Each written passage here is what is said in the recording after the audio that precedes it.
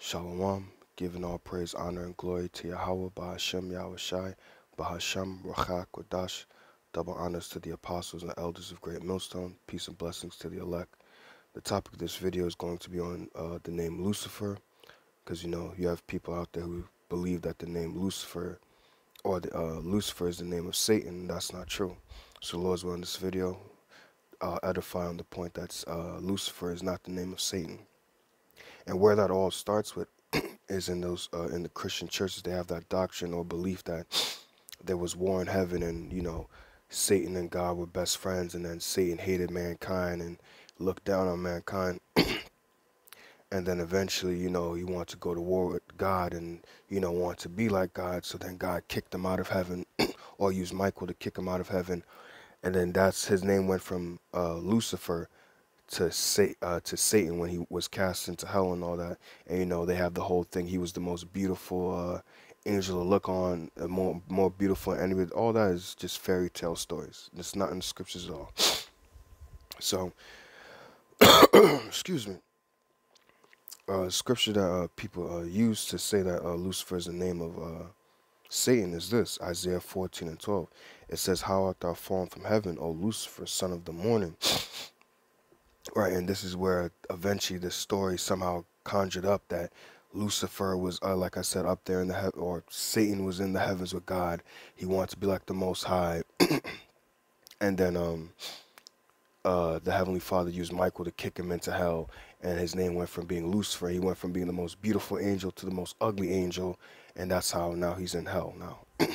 but when you get the understanding, that's why it's important to go into words and to understand the Hebrew you know that Lucifer is not the name of Satan.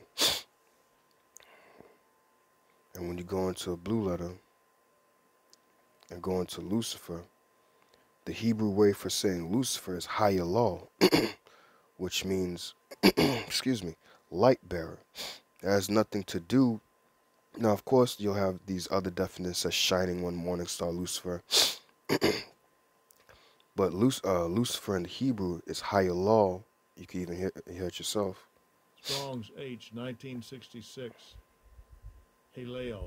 Okay, well, they say it differently, but it's Hayalal, which means light bearer, which means someone who is uh, who can see the truth, someone who's illuminated, so to speak. It doesn't mean someone. It's not the name for Satan. Matter of fact, uh, from there, let's go into this now. Um, this is the Bible commentaries, right? Oh God, it went it skipped. Bear with me one second.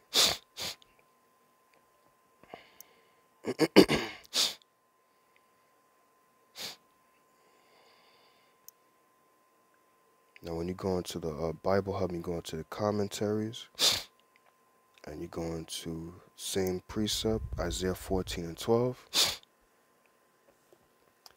It says Ellicott's commentary for English readers. It says, is this the one I want? Yeah, this is the one.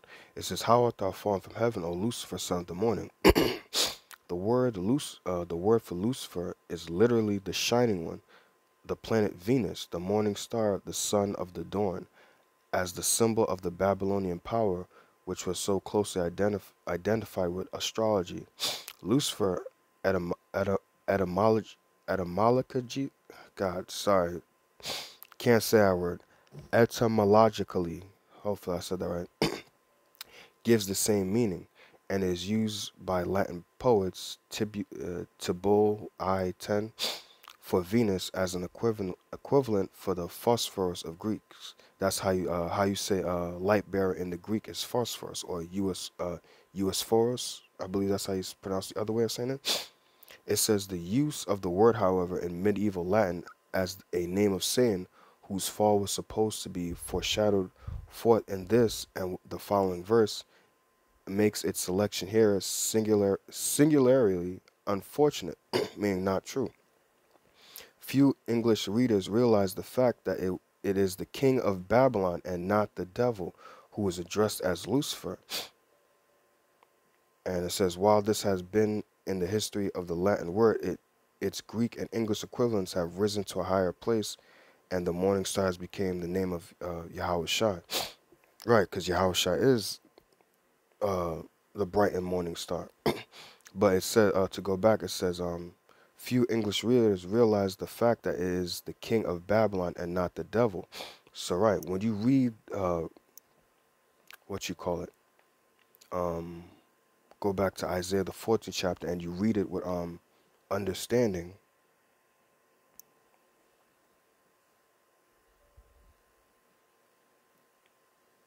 Uh, let me see, where is it? Where should I start from? Right. When you read it, understand that it's talking about a, a man and not Satan. Let's start at verse 4. It says, Isaiah chapter 14, verse 4. It says that thou shalt take up this proverb against the king of Babylon and say, How hath the oppressor ceased the golden city? And when you go go into uh go into different translations, the Heavenly Father is telling Isaiah to make a mock a mockery of the king of Babylon, who at the uh, king of Babylon at the time was Nebuchadnezzar.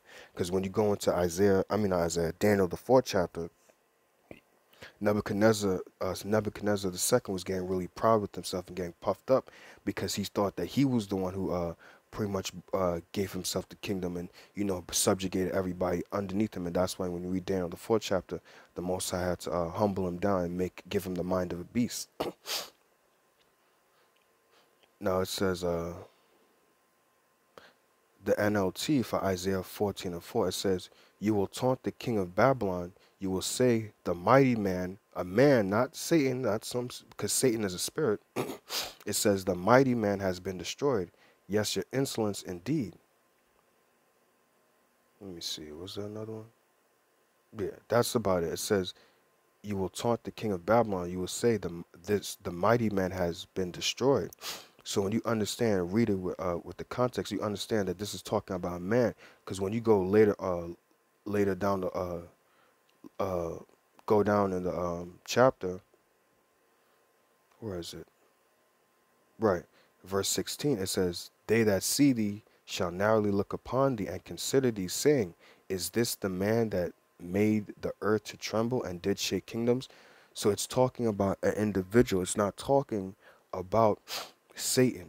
Lucifer has is not the name of Satan. it just means light bearer, and really it goes back to uh, with the Greeks uh, when they called Venus, because um, when you look at the history about that, the Greeks would call um, Venus Lucifer, which means uh, light bearer, because they could see uh, the planet Venus in the day. It would look like a, a, morning star, pretty much. It would look like a star that's shining in the morning. That's why they called the Greeks call it morning star, or in the Greek, uh, in the Greek, how you would say uh, uh, Lucifer or uh, light bearer is um or morning star would be uh phosphorus meaning because the planet Venus would look like a like a morning star because stars shine at the night. But when you see this uh, planet shining in the distance, um, you see this planet shining, it looks like a morning star. It looks like a star that's in the morning. That's why they called it uh, a morning star. But it has nothing to do with Satan. Lucifer is not the name of Satan. And I got a couple more uh, precepts to uh, bring out. So when you read, go from four, uh, verse 4, it talks about the king of Babylon, who at the time was Nebuchadnezzar II. But this also applies to Esau in this time, because we're here in modern, uh, modern Babylon, right? So thou shalt take up this proverb against the king of Babylon, which are these elites today, and say how at the oppressor cease the golden city. and when you go to verse 12, it says, How art thou fallen from heaven? And heaven doesn't always mean uh, talking about the spiritual, like some people believe, or these Christians believe. Heaven it also means rulership. How are you fallen from your uh, um, from your high estate? What, what did Yahweh Shai say? He said, "I see uh, seeing uh, fall as lightning," meaning that uh, the our adversary Esau Edom is his kingdom is falling down fast. That's why Revelation 12 and 12, rejoice ye heavens and ye that dwell in them. Woe unto the inhabitants of the earth and the sea, for the devil is come unto you having great wrath, because he knoweth that he hath a short time. Why is he coming down upon you? Because he know his kingdom is short. He has a short time. So that's why he's going to come down with great wrath. That's why Yahushua said, I see uh, Satan falling from lightning or uh, from heaven. Doesn't mean that Satan was actually falling from uh, from heaven. It just means that he saw Esau's power, uh, Esau's kingdom falling fast, which is the kingdom we're in right now. and this is what's going to happen um, Well, actually, let's go through it. It says, How art thou fallen from heaven, O Lucifer, son of the morning? How art thou cut down to the ground, which did didst weaken the nations? And that's what Esau, Edom has done. But at the time when Isaiah, uh, because this is twofold, at the time this was written for Nebuchadnezzar II with the Babylonians, yes, because Nebuchadnezzar, uh, uh, the Babylonians led by Nebuchadnezzar, did weaken the nations all around them. But this also applies to Esau, Edom, because he's the one in charge now. He's the, uh, he's the, um, the uh, modern day Babylonians. It says, For thou hast said in thine heart, I will ascend into heaven, I will exalt my throne above the stars of the heavenly Father, I will sit also upon the mount of the congregation. Right. And how has he said that uh, he will ascend into heaven? When he has his satellites and all that in the heavens right now, in the atmosphere. I will exalt my throne above the stars of the heavenly Father, I will sit up also upon the mount of the congregation in the strides of the north. I will ascend above the heights of the clouds. I will be like the Most High. Yeah, uh, again, that goes into satellites and all that. And now he's, uh, uh, if you, I have a couple books going on to their Star Wars program they want to put to prevent the nukes from hitting America or just nuclear war in general. They're going to put certain satellites and laser technology up there in the heavens to prevent, you know, um, they have, they call it the Star Wars program to prevent, um, you know, nukes from coming over. It's, uh, St- St- Strategic Defense Initiative, SDI, I think that's what it's called. Uh, to basically laser beams and things like that that'll uh, destroy the nukes from coming over here. But that's not going to happen. It says, verse 15, Yet thou shalt be brought down to hell to the sides of the pit. There's no such thing as hell. When you go into that word hell, I believe the word should be Sheol, which means the grave. Right. Right. The word that is Sheol, and when you see it now, these words are going off. It says underworld, there's no such thing. But it says the grave or the pit. That's where the uh let me see. No, that's it. Yeah. But it's uh it's the grave or the pit. It's not talking about an actual hell. There's nowhere in, in the scriptures where you burn for an eternity. That's not scriptural. It says, verse 16, They that see thee shall narrowly look upon thee and consider thee, saying, Is this the man that made the earth to tremble and did shake kingdoms? And that's what uh, Nebuchadnezzar, uh, the king of Babylon, did long ago. And that's what Esau Edom did today when he, uh, uh, clear example is that it's Hiroshima and Nagasaki. That's how they um, brought nations underneath them with their uh, atomic bombs and things like that. When they went to war with some of these other nations, people, when they see the technology that this white man has, they're like, we don't want to mess with him. They see his military force, they don't want to uh, deal with him. So that's how he weakened the nations. Uh, but yeah, that's uh, just going to bring out some other precepts and laws willing this will be uh, edifying. But just wanted to go into how um, the word Lucifer is not talking about Satan. That's not Satan's name. Lucifer just means to be enlightened, to be uh to be illuminated. I'm gonna bring out uh precepts on that and bring out a little bit more edification on that. So this is Hebrews 10 and 32. It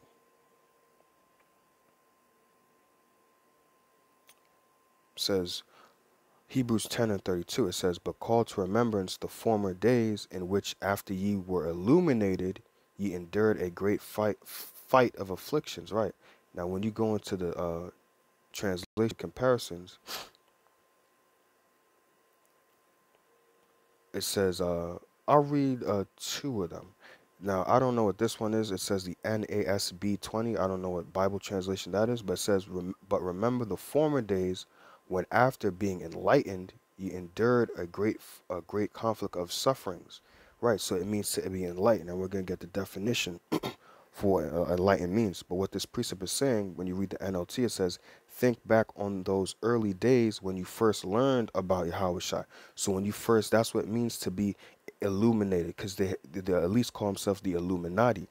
But illuminati just means to be enlightened that's why they call themselves the illuminated one. You know, like some people say, I can see, I, I can see the truth.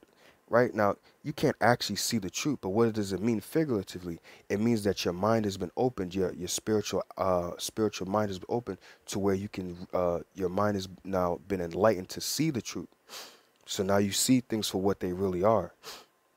It says think back on those days uh read it again. Think back on those early days when you first learned about Yahweh Shai so when you first came this truth and you learned uh, that you're Israelite, you learned that Yahweh Shai, uh, the true name of the Lord and uh, the Heavenly Father and His Son.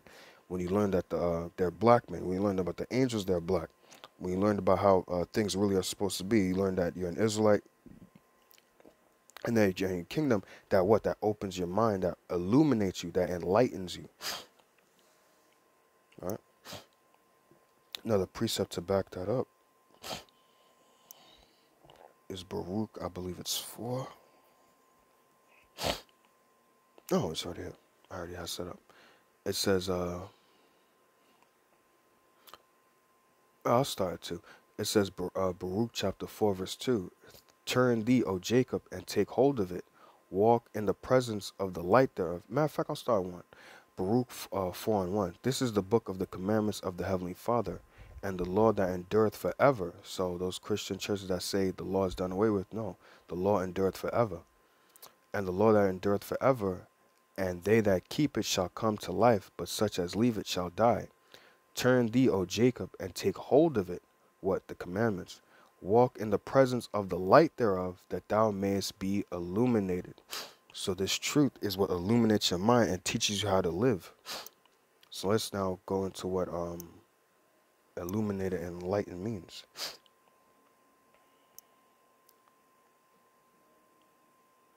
Right. Let's go to the second definition, right? It says help to clarify or explain, right? And when you see the 12 tribes chart and you first come to this truth, you're like, what's that uh, what's that chart all about? I see it says so-called blacks are Judah, uh, West Indians is Benjamin. I see who's Ephraim and all that. So what? And then when you ask these questions, what the uh, the reader, uh, the brothers out there, they read read you scriptures and they what to help to clarify or explain. And what do they do? They reveal, they shed light on, they clear up, they uh, enlighten. There's that word, enlighten. Um, where's this? Oh, there we go. It says edifying. Let's see what this. Okay. Let me see if there's anything on edifying. Let me see.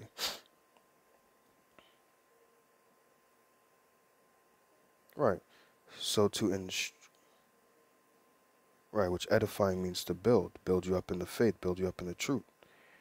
But uh, when you go to edify, it says to educate, instruct, teach. What? We're here to teach you the truth. Tutor, coach, train, guide. Right, spiritual uh, guide, uh, spiritual guides enlighten. See there again, enlighten. Now we're gonna have to get into that word enlighten. Um, cultivate, mm, cultivate your mind. Let's see what we could also get on. Uh, my bad. Let's see what we could also get on cultivate. Right? It says to grow, and that go, that goes into the parable of um the uh uh the parable with the um the sower and the uh Matter of fact, where is it? Let me see if I uh, Matthew the 13th chapter, where it says, um, matter of fact, hold on, let me get it real quick.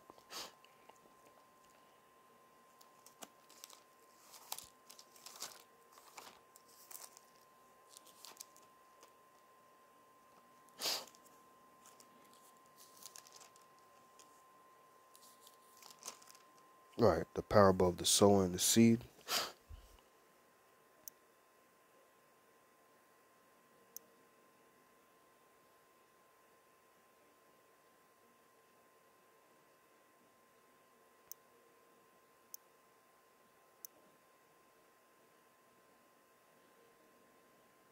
I just gotta go real quick to it. it says uh Matthew 13 and 18, Hear ye therefore the parable of the sower. When anyone heareth the word of the kingdom and understand not, then cometh the wicked one and catcheth away that which was sown in his heart. This is he which receiveth seed by the wayside. Right, and I've seen that you'll have somebody come up and listen and then uh, they'll listen for like a little while, and then they'll have some. I've seen it, whether they be their women or friends, that yo, don't listen to these guys. Come on, let's go. And that's the seed that fell by the wayside. They heard the kingdom. They heard that yo, you're you're, you're the son of God. You know, the Lord died for you, and they'll be like, yo, man, they don't know what they're talking about. Jesus loves everybody. His name's not Yahweh. His name is Jesus. Come on, let's go. These guys is crazy. That's the seed that fell by the uh, wayside. And then he says, but he that receiveth seed unto stony places is the same that heareth the word, and anon with joy receiveth it, yet he had not root in himself, but dureth for a while when tribulation or persecution ariseth because of the word, by and by he is offended. Right, so that's the uh that's the one that uh fell by the wayside. But I didn't want to entirely get into that. But just want to uh, explain that. So now let's get into this word um enlighten. Salakia for making this video a little bit longer than it needs to be. But here, here's the word uh, definition for the word enlighten. It says to inform, notify, open someone's eyes. Now, you're not actually opening the eyes. Will you open their spiritual eyes, their spiritual mind? To what? To the truth. To shed light on, right. We're here. The Lord has set us up to shed light on the fact that you are the children of Israel and to shed light on the fact that Lucifer is not, does not have anything to do with Satan. That's not Satan's name. Satan's name is Satan, the adversary. That that's that's who he is. He's here to make our life hell while we're trying to serve the Lord. But that's a part of the uh you know, fighting the good fight of faith. So that's that's pretty much it. Just pray that this video was edifying. Want to give all praise, honor, and glory to Yahweh Ba'ashem Yahweh Shai. Ba'ashem Wadash. Keep the good fight of faith. Shalom.